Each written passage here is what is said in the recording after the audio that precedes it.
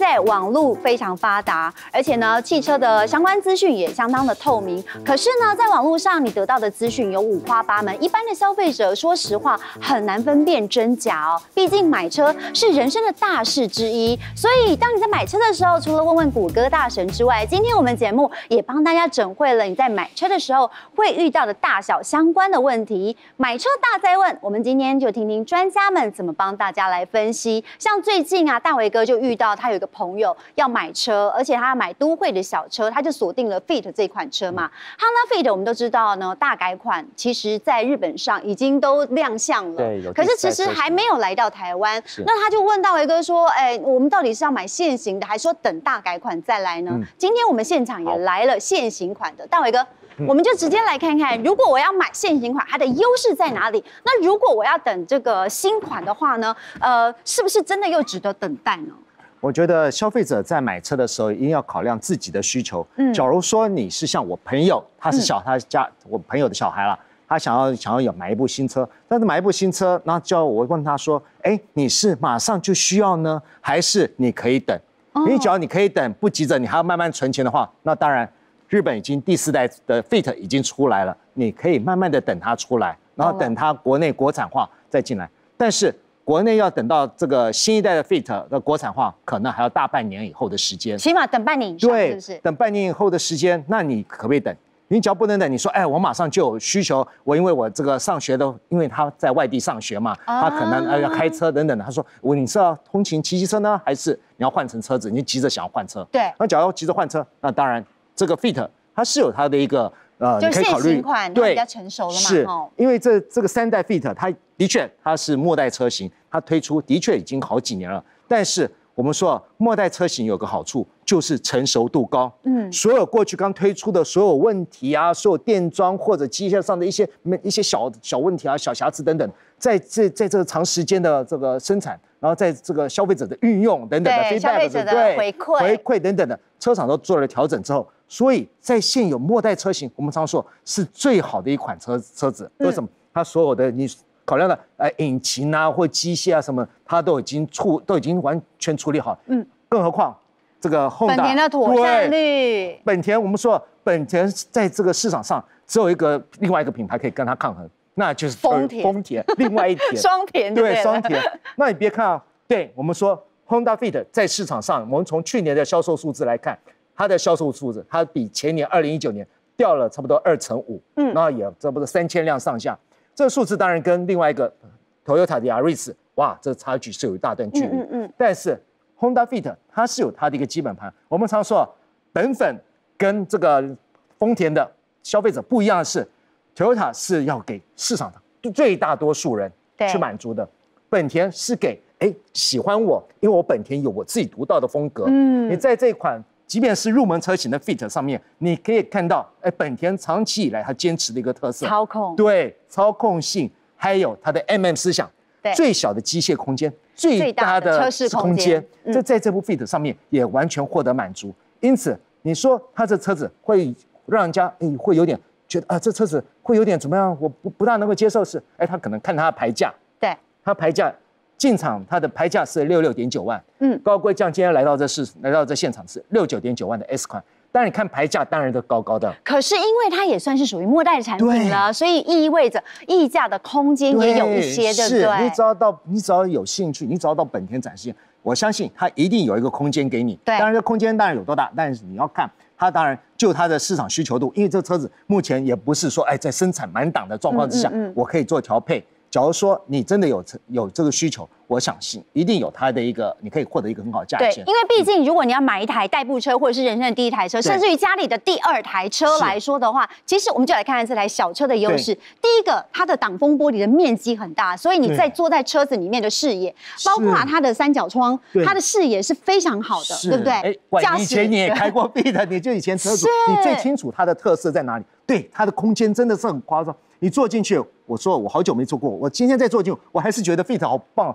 坐进去细好的不得了，哇，这个这好大的这个挡前挡，还有它的头顶空间，不管不管是前座后后座，都是两个拳头以上的距离。其实它可以媲美 CUV 耶，现在 CUV。对，还事实上这一代的 Fit 它在国外也的确有推出类似像 CUV 的车型，把它垫高一点，加上一些护板，就是 CUV 的风格了。哦，可是，在台湾其实像 Fit 它仍然是相当受到欢迎，因为我们可以说它有很多的优势，除了刚刚我们讲的驾驶的视野非常好，对，还有车内的空间，MM 的设计理念就充分的展现。我们带着观众朋友来看一下，这是冠仪真的非常喜欢的地方。每次讲 Fit，我们一定会讲它的功能，就是它后座的那种空间的那种可用的弹性。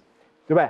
首先把它一抬起来，往上折，而不是像一般的是，比如说它的后座椅背往前倒等等。对，这是一个，哎，马上就可以获得一个超过一米的一个空间，让你放较高的物品。对，这种弹性。就是一般修旅车特色，但是在这部迷你车上面，它获得了很大的体现。没错，一般买修旅车是希望它的高度嘛。对。那我今天买一个大的花盆，哦，高的花盆就可以放在这个地方。放进去。对。哦，这个很棒哎。是。好，那我们再看另外一边。是。关于副驾驶座整个躺平了，是不是有个贵妃椅在那儿？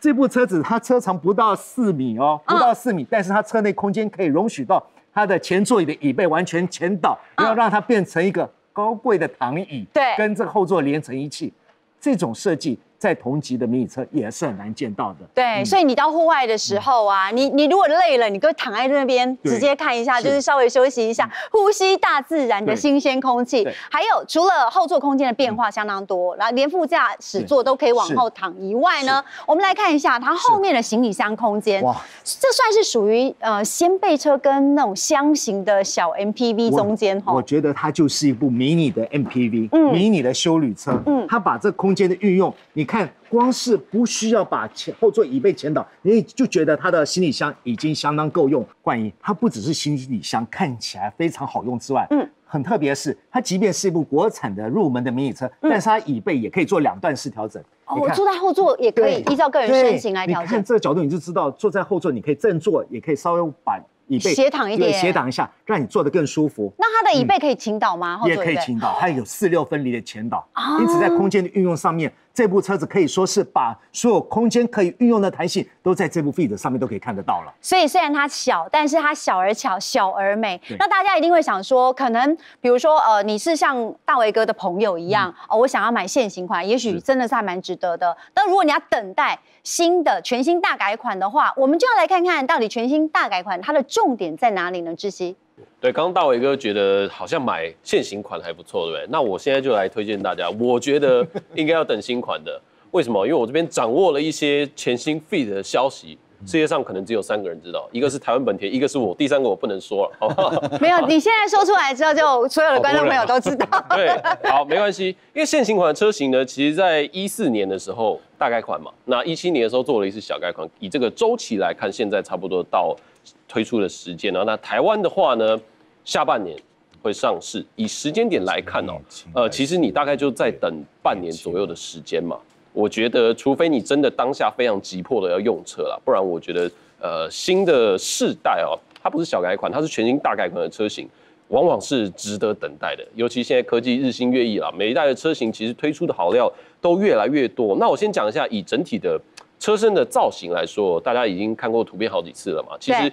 以往新车推出吧，我身边都是男生朋友在问我，哎，那个车怎么样？那个车怎么样？这台车都是女生朋友在问我，就得到非常多女性朋友的一个关注，因为它造型其实真的蛮可爱的，嗯，它设计啦等等，其实就是呃非常的讨喜哦。那新时代的东西呢，包含是像什么 LED 的头灯啦，以及它的内装的科技化的提升，包含它整体的造型轮廓，短短的车头比较圆润的一个车室的空间，还是。跟现行款大大致上是相同的，不过车长稍微拉长了一点点，现在大概不到四米啊，三米九多，会拉到大概四米一左右，所以空间会再放大一些些。那刚刚大伟哥示范的那个后座椅椅的那个机能性，它一样还是采用中置油箱的设计，所以这个功能也是保留的。而动力很多人很关注嘛，呃，动力呢是一样是采用一点五升的四缸自然进气引擎，不过呢会换上新的地球梦的动力。那最大马力会来到大概一百二十九匹左右，就多大概将近十匹的一个数据啦。嗯，好，再来在车内的话呢，因为它整体的轮廓啊，跟他们先前出的一款车叫做 Honda 一电动车的概念其实是很相似的，水平式的一个中控的设计啦，双辐式的双向盘方向盘，我觉得这个是最对对我来讲最吸引人的地方，我觉得内装非常的棒，尤其是以这种入门级距的小车来说，它的精致度非常的好。而中控台啦、新的车机系统、Apple CarPlay、Android Auto 这些功能，通通都是有的。好，那讲几个大家比较关注的点。以车型的编程来说，他们会把主力放在目前的顶规，所以呢，所有刚刚讲的配备，包含全套比 CRV 还要更先进的 Honda Sensing 的系统，都会在上面。在小车上面会有，没错，没错。而很多人在问的 Hybrid，对，油电的车型，你上次说在第四季会推出。哦，但不会到年底，好不好？第四季推出，但不会到年底，大家自己算一下时间啦。确定会来台湾，不过以价格来说，因为新车可能，我们知道本田啊没有便宜的车，但是本田的车都是好车嘛，对不对？所以以价格来说呢，大概会落在汽油的车型，我觉得可能会落在七十上下的啦。那油电可能会要见八，所以嗯，如果这个价差你是可以接受，那可能等个半年的时间。